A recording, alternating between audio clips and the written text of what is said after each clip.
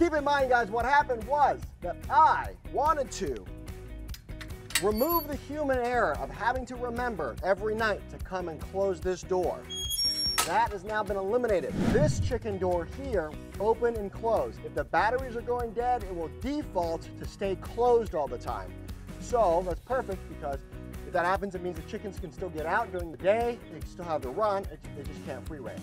So if I notice that, then I can come and change the batteries.